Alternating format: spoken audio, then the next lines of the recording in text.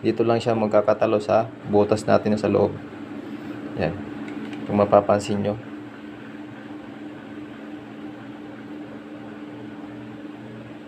Itong dalawa na to medyo maliit yung butas niya. Kaysa ditong isa. So, yun. Welcome back mga ka-jumper. Bago, bago ang lahat, bali magpapasalamat muna tayo dyan sa ating mga bagong nag-subscribe sa ating channel. Yan. Maraming maraming salamat sa inyo. Bali doon kasi sa isang video natin na short, bali na kulang-kulang na siya mag 100 views na siya, 100k views. Yan, bali nagpapasalamat ako sa inyo na nag-subscribe kayo sa ating channel. And kung gusto niyo po mapanood ng iba nating video dyan, tungkol sa electrical o ano man, paki-like na lang ng ating video kasi malaking tulong yan sa ating video para maging recommended ng ating ni YouTube. Yan. Bali yung sa mga bago bago pa lang andyan mga da, makakadaan, paki-like lang ng video natin. Saka subscribe mo na rin ng ating channel, saka bell all mo na rin para update ka sa mga bago nating upload na gagawin. Yan. Yan. Bali yung gagawin natin ngayon, kasi bum- bumili tayo ng para sa electrical, bumili tayo ng PVC cylinder. Yan. Yan. Kung mapapansin nyo to. Kasi sa bali sa review ko kasi doon sa mga bumibili, kasi marami siyang maraming nakakabili na hindi siya naman nagagamit talaga ng sa ating mga PVC katulad ng one half natin ng PVC yan, bali yung karamihan sa natin doon, nababasa ko doon sa mga ano na hindi naman talaga siya nagagamit kasi hindi yung mayroong din nakikita ko na hindi daw kasya. Yan. kaya bali ngayon, papakita ko sa inyo kung itong mga ating nabiling PVC binder kung kakasya dito sa ating mga PVC na 1 half. 20 mm to. Bali ito nagkuha tayo ng scrap. Yan. Bali itong mga PVC na to is isa lang yung brand parang Atlanta siya. Yan. Napapansin nyo Atlanta. Yung mga PVC na to. Tapos yung isang PVC na yan yung kulay pula. Kaya ngayon papakita ko sa inyo kung bakit yung ibang sa PVC na hindi pumapasok yung ating PVC binder. Yan. Umpisa na natin yung video para makita natin kung bakit ayaw pumasok ng ating binder. Ayan. Tulad na nga sinabi ko kanina, sa mga nakita natin doon sa review natin sa mga pinakudiran doon sa ano na, bakit nga daw na yung iba ayaw kumasa sa ating PVC. Bali yung binili nating binder is ano lang to, 1 half 20 mm siya. Tapos ito naman nating tatlong PVC 1 half din siya, 20 mm. Bali yung bra- brand ng PVC na to is Atlanta. Yan. Makikita nyo.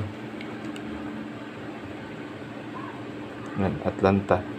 Kaya lang ito yung isang kulay ito, kulay pula siya. Tapos itong dalawa naman, kulay parang orange siya. Yan, kung mapapansin nyo. Atlanta din siya. Yan. Ngayon, titingnan natin ngayon kung kakasya yung binder natin dito sa ating PVC. Yan. Kung mapapansin nyo naman yung ating butas ng PVC is halos puro pares naman kung titingnan mo siya. Yan. Sa laki naman, halos parehas lang yung laki niya. Yan. Halos parehas lang yung mga laki niya. Yan. Tara, bali titingnan natin ngayon kung yung PVC binder natin kakasya dito sa ating mga PVC. Yan. Unahin muna natin tong ating pula. Yan. Bali itong pangalan niya Atlanta Permalane Electrical Conduit Think Wall PVC pipe 20 mm by 2.20 mm. Titingnan natin kung Kakasya dito sa ang ating PVC binder. Yan. Mga ka-jumper. Kung napapansin nyo, yung ating PVC binder ay ayaw na ayaw nang pumasok. Sabihin,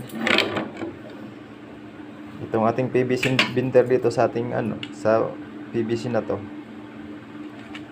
hindi siya kasya. Yan. Bukan naman na natin tong isa. Ito naman, yung kulay orange, Atlanta din siya. 20 mm. Yan. Halos parehas lang din siya. Bukan natin. Yun. Yan. Pumapasok siya, pero masikip. Hmm.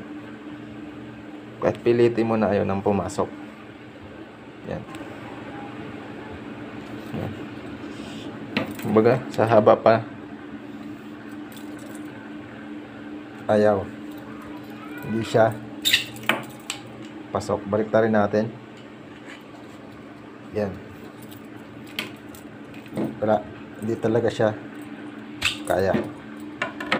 Yan. Dito naman sa ating isang PVC. Atlanta din siya. Yan. Sukat niya. Kikita niyo ba mga... Yan. Yan kung mapapansin nyo ito. 20 mm din siya. Yan. Bukan natin.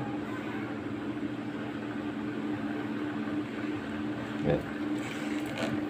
Dito sa isang PVC natin, pumasok siya. Yan. Yan. Yan. Bali pumasok siya. Kaya sabi ko nga, kung katulad ng nga, bibili kayo ng, mag-order kayo ng mga ganito, para yung nakikita natin dyan sa Lazada, Shopee, itingnan nyo muna yung mismong sukat ng binder natin. Yan. Yan. Kasi marami nga talaga ako nakita kahit sa iba-ibang brand ng ano ng shop ng ano binibilhan nila. Ganun nga rin nangyayari na hindi siya kumakasya sa ating mga PVC.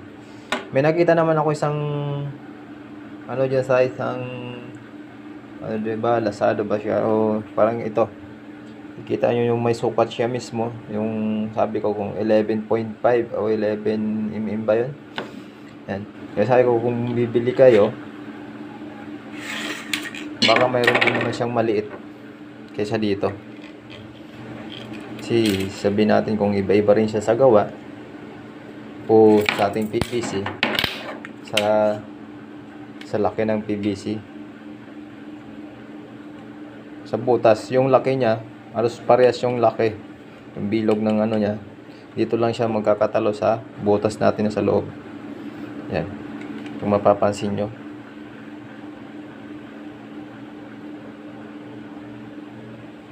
itong dalawa na to medyo maliit yung butas niya kaysa ditong isa. Kaya mahirap naman kung bibili siyempre minsan bibili tayo ng materyales sa electric- electrical. Maghahanap pa tayo ng ganitong butas. Eh kung paano kung ito naman yung mabibili natin hindi rin natin magagamit yung ating binder. Ito naman binder natin, napakadali nga talaga siyang gamitin. Pagkakasya siya dito sa ating PVC. Sinasubukan ko naman siya. Okay naman siya. Pang, ah, pang natin natin sa panglatag sa slab. Mga elbow. Gagawa tayo ng mga elbow. Man talagang madali siya. Hindi mo na kailangan ng mag-iinit pa ng matagal. Ngayon, pag tinuping mo lang, talagang okay na siya. Yan.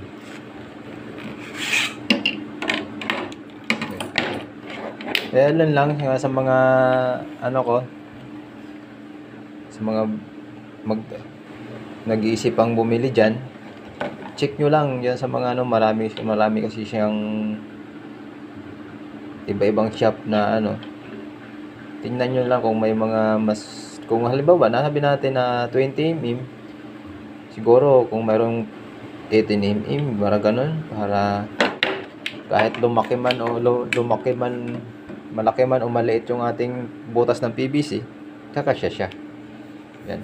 Yan. Para ito, pinakita ko lang sa inyo ng ating PVC binder na itong nabili kong PVC binder 20 mm yung so ano niya na hindi siya pasok sa iba't ibang klase ng PVC one half natin na pumapasok siya talaga. Yan.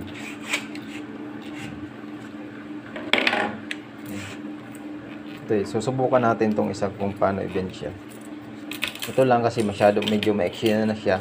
Medyo talaga kailangan mo na siya ng persa. Pero i-bend natin yan. Yan. Ito yan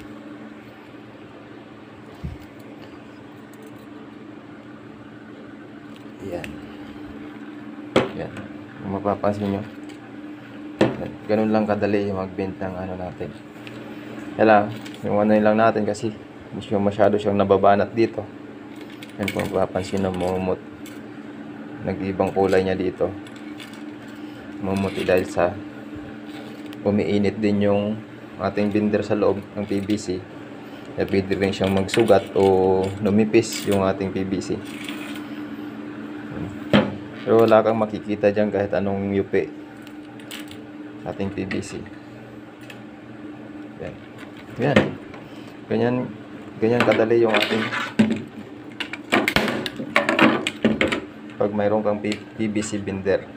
Kaya lang, yung problema lang natin ngayon, doon kung sa pag, pag bumili tayo ng binder, eh kung hindi naman siya papasok dito sa ating mga PVC, hindi mo rin na, hindi rin natin siya magagamit talaga.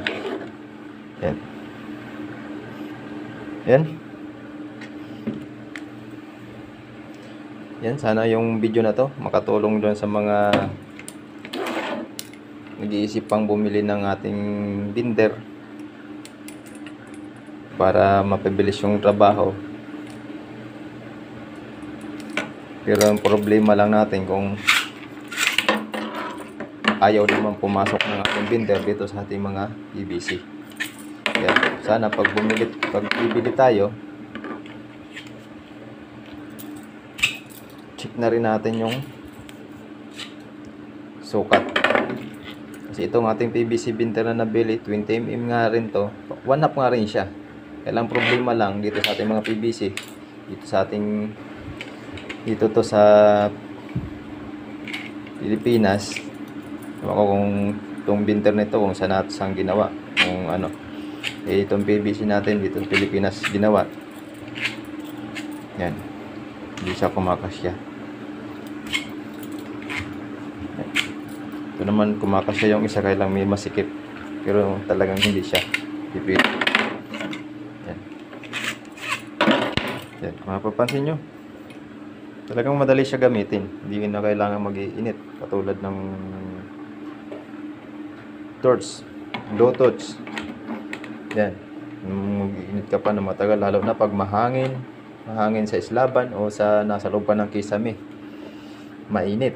Mahirap mag ano, dadagdag pa sa init kung may Bluetooth na gagamitin. Yan. Sana makatulong tong ating video na ginawa ngayon. At muli ako magpapasalamat doon sa ating mga bagong subscriber na nag-subscribe sa ating channel. Paki-like ng ating mga video.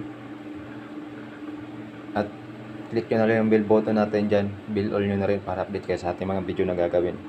Sa mga bagong makakadaan pa sa ating video, paki-like lang lang ng ating video. At kung nagustuhan nyo yung video natin, subscribe nyo na lang at bell all nyo para